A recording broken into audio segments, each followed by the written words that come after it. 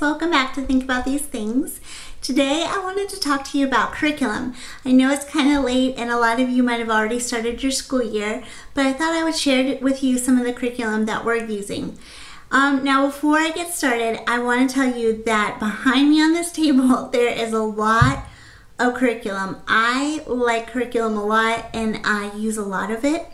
And my friends actually make fun of me because I use so much curriculum. But um, I really believe that no curriculum is perfect. So we do a lot of a little of this, a little of that.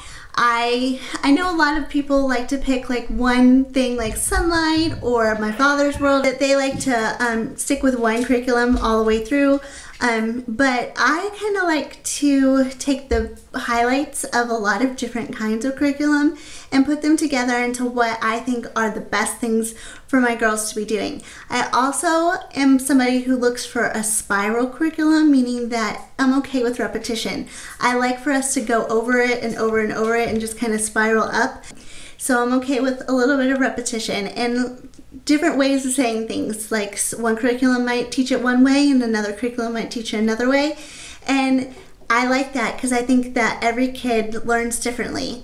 Um, one of my professors in college used to say to us all the time that a teacher's manual is not a cookbook, meaning that none of it's not a perfect recipe. You can't put a little of this and a little of that and and not every single kid is going to come out the same way. Meaning that, you know, just because it worked for one of my kids, it might not work exactly for my other kids. So in a classroom full of 20 kids, they all are learning in different ways. So a recipe is not gonna work. And some kids might not like things. Think of it like as you're cooking. You might not like onions or olives in your family, so you might take that out of your recipes. It's the same thing when you're teaching with kids. You have to pick and choose what you like because not one curriculum is going to be perfect for every single kid that you have, even in your family. Um, I do a lot of putting together lots of different things. The other thing that I do is when I am picking curriculum for my kids, um, Elise is a workbook kid. She likes workbooks, where um, is not so much. She is a hands-on learner. Um, so I look for, you know, things that are visual things that get them up and moving for kinetic and things that are auditory for their hearing, you have to look for all the different steps um, for the different learning. So I do do a lot of different kinds of curriculum for that point that I want them to be having all of the different kinds of learning so that it can hopefully master it. And that's some of the things that I look for when I'm looking for curriculum. So let's go ahead and look at the curriculum. I have it laid out on a table and I'm just gonna go by subject by subject and tell you about the curriculum. Some of it's old, some of it like we've done for years. Some of it is new this year. So I'm not quite sure and I'll just tell you what um, is working for us so far. So let's go ahead and turn around the camera and look at our curriculum. This is all of our curriculum for this year. This is the first and fourth grade curriculum that we are using. And let's go ahead and start up here. This is our language lessons. Um, this is called First Language Lessons for the Well-Trained Mind. This is my teacher's manual for level one, and then Elise's workbook for level four. And we have done this for the past three years. We started this when Elise was actually in second grade, and we did level one and level two that first year, and then she did third grade, and now she's on the fourth one. Level one and level two are very like short, easy lessons. Um, it starts with everything from like parts of speech, like nouns, pronouns, um, and there's some memorization work, like the months of the year, and um, some poetry. It has um, paintings and art where you kind of have them describe it to you. There's also some bits and pieces of stories where you read to them for listening comprehension. There is, like I said, parts of speech. I really like this a lot. It's a great way to start learning about language. And then for Elise, it gets more in depth where she has a workbook. And so we teach the lessons and we this is my actual like time that I spend teaching her. It gets into diag diagramming, it gets into tons of different types of speech. it is somewhat scripted, and um, this is the teacher's manual, and I'll just show you what's kind of inside here. It gives great questions to ask, to remind to ask, and some of this stuff I know, and then some of it you kind of need to be reminded of, and so it's really nice to have it here because it makes you confident in teaching them. We do this three times a week, and um, it this is my actual sit and do lessons with the girls. Now, in partnership with this is Writing with Ease. This is level one, and this is level four. Honestly, I don't consider this a writing curriculum. I consider this more a uh, like a guided reading.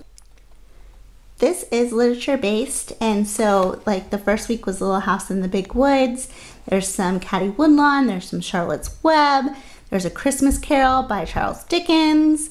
There's Charlie and the Chocolate, Chocolate Factory. And so that's um, what Breely's are based off of. And Elise's are based off of The Emperor's New Clothes. This week she's learning about the, the Renaissance period, Little Women, so Black Beauty. There's lots of different types of good literature. Um, it has things like this that they they write like a little um, sentence that would be like a highlight of what we read, or sometimes it has dictation, and sometimes it has um, tell me like the summary. So um, a friend of mine asked me why I do dictation, and we actually do dictation with their spelling because we I like that one because it uses their spelling words. But dictation is awesome for say you take notes while well when they go to college or if they're going to sit in a meeting or maybe notes in um, church or something like that. So I do think that dictation is important. Elise's is a little bit more in depth. she does the reading and then it has questions and then it has a summary. So her stories would look like this. And then um, there's questions that you ask this would be her writing a summary of it, or maybe a favorite passage, or highlights. Uh, maybe she wants to talk about the um, main characters or what the um, problem and solution was. Whatever it is, this is what she would write on this page. This is again the dictation. Usually I have her write a summary on the dictation or I give her the dictation and I do like a model writing lesson. And so we write it together. I write it on the board or a piece of notebook paper and she writes it on here. And so the stories last two days and this is a four day a week program. So we do it Monday through Thursday. Then we get into their um, in their language they do independently. We do this is level one and level four of daily language review. This is things such as putting things in ABC order or making sure that your sentences have proper words, um, word usage or capitalization, periods, question mark, commas, which word does not belong, um, different things like that. That would be what the first grade level is. And Braylee and I do right now are doing it together, but she eventually will do it independently. Elise does it completely on her own. So she would have to find um, like the subject, or she would have to find the verb. She would have to um, look up a word and find me um, a different word that would go in its place. Or these she would have to find like an adverb. She would have to find the um, different meanings of the word light. She would have to again do um, correction of spelling and things like that. So this is just very short. It's one to five questions every single day. Um, and she would just do some practice of the things that we are learning in first language lessons. We also do Abeka. Abeka is not the core of our curriculum, but I do think it's good, um, more so for the younger years. I like their phonics. So we do letters and sounds. These are empty, they're all torn apart, but we do letters and sounds, which are the phonics, and then um, the actual language, and these work well together. She does three or four of these pages a week also. And then Elise is doing the grammar, the writing and grammar. And this is her independent work. This is kind of how I check to see if she's getting what we've done together in these books. So we do use language A for fourth grade and letters and sounds and language one when we are doing their independent work um, of just different phonic sounds and stuff. I truly believe when you're teaching your kids to read, you have to do word families, you have to do phonics, you have to do sight words. I kind of think that all philosophies are useful and necessary, so that's why I like to do the um, phonics with the Abeka. Um, however, when we do their readers, last year for kindergarten we did Bob Jones readers. This year we're doing, we do have the Abeka ones. I like um, these because it does build off of the sounds and things that she's learning in here. But we also have the Horizons books that I use with Elise. So we, um, she reads to me and then it has the comp um, the comprehension questions at the end. So we've been reading both of the phonics and the Horizons readers. For a for Elise's reading, we she does a lot of independent reading. I do look at the Sonlight um, reading list, and I also use Google and I kind of look and see what are some great books for her to be reading. But she honestly picks a lot of books on her own. Um, this is one that was actually set out on my desk this morning and she has finished this one. She loves anything that has to do with horses. So that's what the series is about. She also loves Nancy Drew. This is her newest obsession. She is flying through Nancy Drew books. We um, buy these a lot of the time at vintage markets. We our family loves to go to different vintage shops and markets and things like that. So she is always on the lookout for old vintage books, which I love. And Nancy Drew is kind of the newest series that she has discovered.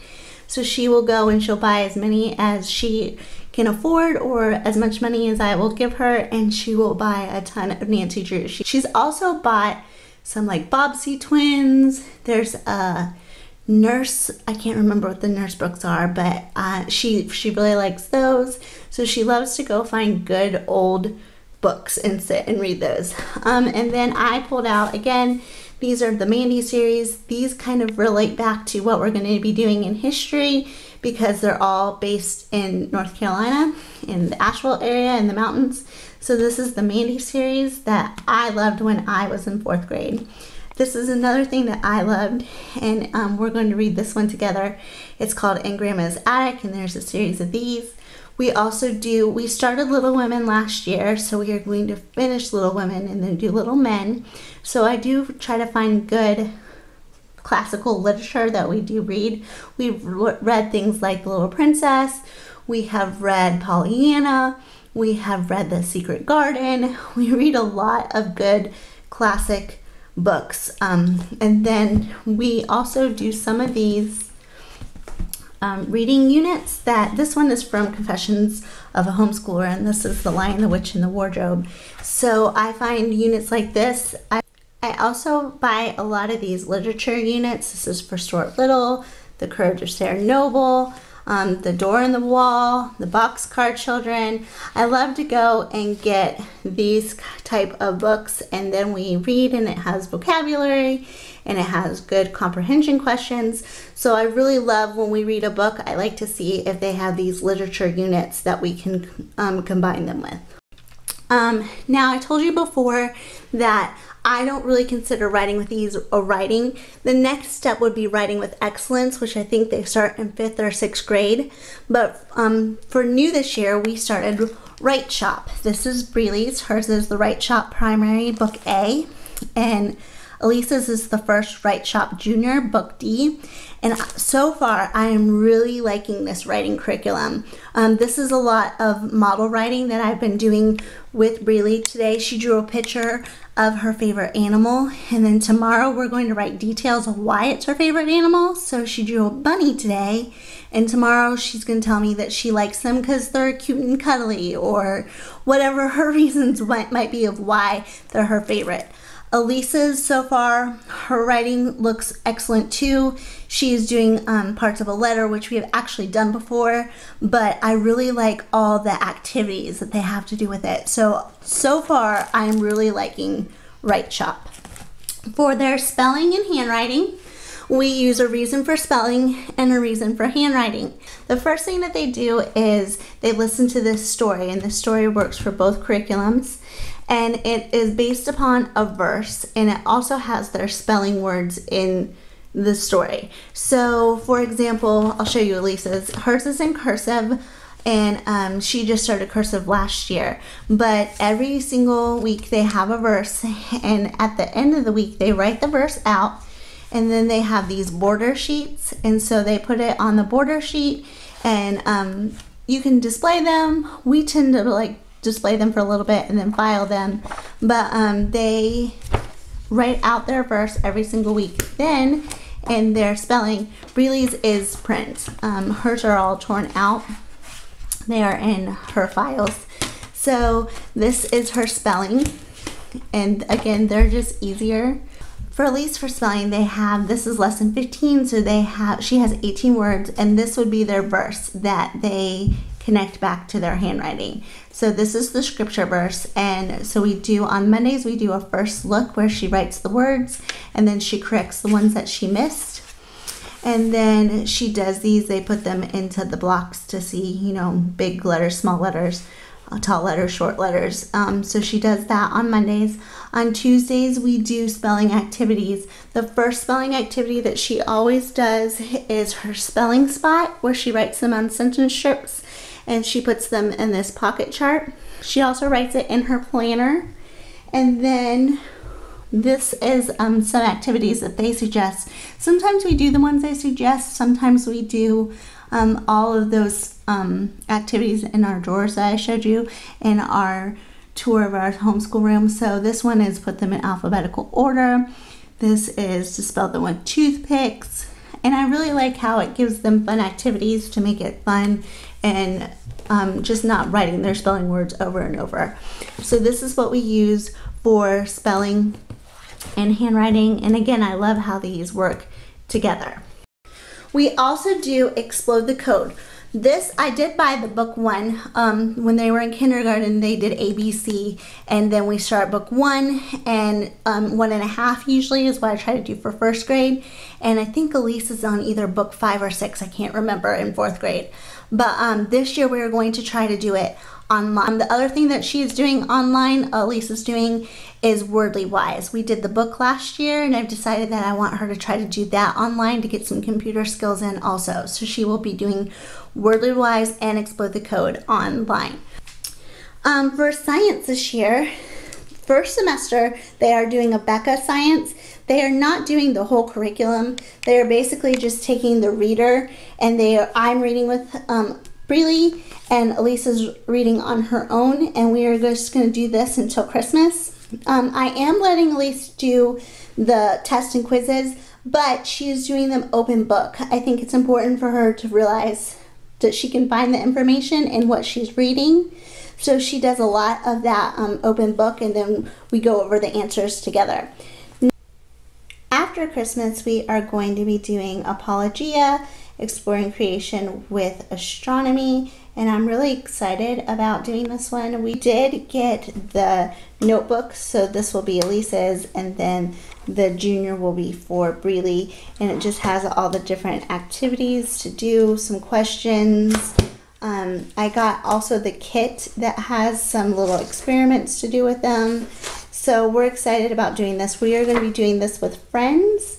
So I think it's going to be a great um, science unit. When I was in fourth grade, we did science, and I still vividly remember it. It was one of my favorite things that we did. So um, that's kind of why I wanted to do a space unit. For math, Elise does two math curriculums. She does teaching text textbooks on the computer. We really like teaching textbooks. And then she is doing Horizons Math 4. Now, Horizons Math 4 is a little bit ahead and then they say that teaching textbooks is a little behind. So I think in between, she's kind of averaging out. She like how this challenges her. This gives her more of a detailed instruction and just gives her confidence. So I like her doing both of them. Um, she does teaching textbooks probably three to four times a week, and then she does Horizons every day, five days a week. Breely is also doing Horizons and I pulled out um, a Life of Fred just to do some extra stuff with her. I almost this year decided to do Saxon. I really like Saxon math. I like that it's very hands on and really likes that a lot. But again, I like how Horizons challenges them. So for right now, I decided to stick with Horizons, but I really do suggest Saxon Math. I think it's a great curriculum also. For history this year, the first part of history, we are doing the states. I got them both this coloring book and every day we pick a state and we are coloring it and um, learning the bird and the flower and the tree. And basically, really is learning where it is located. And um, Elise is working on, she's learned where the states are already. So she's reviewing that and she is learning the capitals. So that is what they are working on for the first part of um, history. These are another thing that I got while we studied the different states we I actually was given these and I do not have all 50 states, but it's like a highlights um, state magazine and so like in theirs there's like a little story and then like hidden pictures um, it has some word searches and just different things this is all about arizona but it has different um, questions you can ask them so I have, I would say most of these, we're probably missing like five of maybe five to 10 of the states. But then we are going to move into the election. And so I have all this stuff that we have ready to go for the election. These are some activity cards. This is a little workbook, some flashcards, another book that has little facts about the um, different presidents. So again, Elise, I would like to have some knowledge, maybe not 100% memorization, but um, some knowledge of the past of the presidents and then what the election process really is since this is an election year. After we have finished um, all of the United States and the election um, for the fourth grade year is, you know, your state history project. So uh, when I was in fourth grade, we actually lived in Virginia. So I still have my Virginia state project. So I'm excited about doing the North Carolina state project. Again, I have um, some coloring books. Here's a coloring book that I got her. Here is some history projects that for North Carolina that I got. And this is like a little facts book. This is by Carole Marsh, and then she has also all these real life mysteries, these national mysteries, not real life, but they're at real places. So um, this one is, you know, in the Outer Banks. This one is the Lost Colony. This one is about Blackbeard the Pirate, and we've already read the one that is based out of Biltmore and I might pull that out, but we're going to try to do these three books. This will be our reading that we're going to do along with all the different activities. I also bought these books. We live in the Charlotte area, so here's some cool stuff about Charlotte, um, the North Carolina colony, Here's another book. Um, we're going to probably go uptown. They have um, like a history walk that tells tells you the history of Charlotte. So I think that we are going to try to do that this year. I'm really excited, me personally, about reading and learning about North Carolina history. I think it's going to be really fun and really exciting. So I, I'm really excited about that. Once we have finished all this, this is a lot, so I don't know how much we're going to get into it, but I have planned to, once we have finished, we're going to start Story of the World. We decided I already have the um, book and I already have the CDs and everything, so we are going to be doing Story of the World. And I'm excited to start this um, curriculum also. I've heard such amazing things, and this is by that same company, which I love. So um, I'm excited to start Story of the World. For Bible this year, one thing our family is doing is this book called I Can Learn the Bible. It's the Joshua Code for kids. There's the Joshua Code for adults, but this one is for kids, and it's 52 um, scriptures to memorize. So, one a week, we're going to be working on memorizing those as a family. But our main Bible, I'm concentrating on this book. It's called In This House We Will Giggle. And there are 12 chapters and there are 12 different um, characteristics love. The, we're working on joy right now. Um, there's forgiveness, I think, grace, um, perseverance. And so it gives you a verse again to memorize, and then like little games and activities that you can do, questions you can ask your kids to put it into real life um, practice. And so far, I am really loving this book. It's called In This House We Will Giggle, and I think it's great. The other thing that we do have for Bible is um, this positive action curriculum, and we use this much more so for kind of like a devotional for the girls. Um, this is the first grade, this is the fourth grade. Elise does hers basically independently, and um, Elise. I, with Breely, I do do some of the activities with her. Um, I like the stories. I like how it gives them real life application, um, and I really like how these work now, with um, these, they've heard the, the Bible stories a lot of times over and over and over again.